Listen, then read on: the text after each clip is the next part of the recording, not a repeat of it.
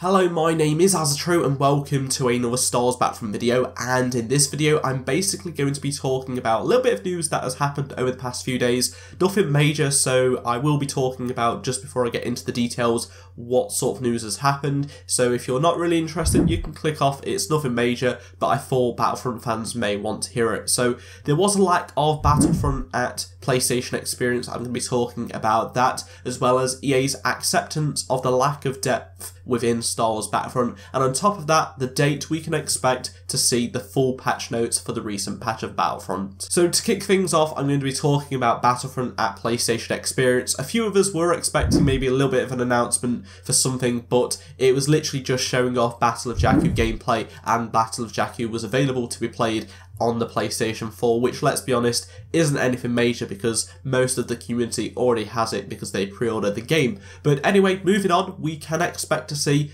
patch notes for the recent patch which happened last week for Star Wars Battlefront, a little bit later than uh, usual, but it is it is pending approval from the developers. And uh, Matt, the community manager, did say it will be available on December the 8th, most likely. That's what he's aiming it for, and he's changed it from DevSpeak to obviously GamerSpeak to make it easier for people to read. So it should be out tomorrow. I'll upload a video tomorrow breaking it down for you guys, just making sure it's even easier for you to understand to see what's actually been changed within the game. Finally, EA did accept the lack of depth within Star Wars Battlefront, so CFO Blake Jorgensen did acknowledge that Battlefront was initially designed to be accessible. He said Star Wars Battlefront is a first person shooter, but is one of the only team rated, team rated first person shooters.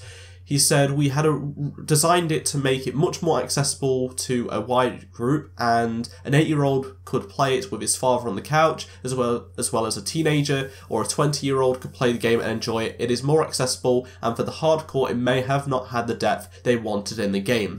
So yes, it is true that the game doesn't have the depth of, say, Call of Duty Black Ops 3, Halo 5 Guardians, which are in the same genre, but at the same time, it's quite a robust game, just like the others. And remember, this game is quite trying to go for the Star Wars audience, which is anyone spanning from a really young age to a really old age, you know. So I think that's what they've tried to go for, and they've tried to make it friendly to as many people, and they've done a good job of that at the sacrifice of not having the you know the depth we've experienced in previous battlefronts or battlefields for example. But anyway i hope you enjoyed this video. If you did enjoy it be sure to give it a like rating and comment below if you have any uh, things to talk about uh, what i've spoke about in this video. And i shall see you all in my next battlefront video. Goodbye